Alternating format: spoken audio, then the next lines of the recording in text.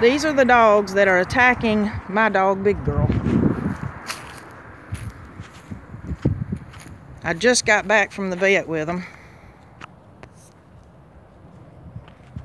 With Big Girl, and these dogs are in our backyard.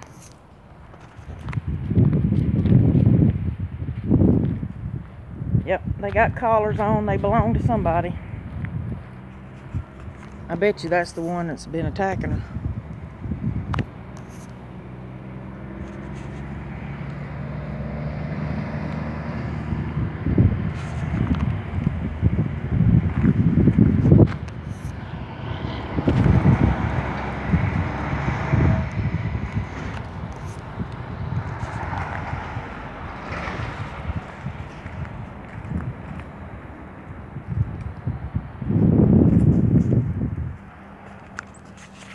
Yep, they got collars on.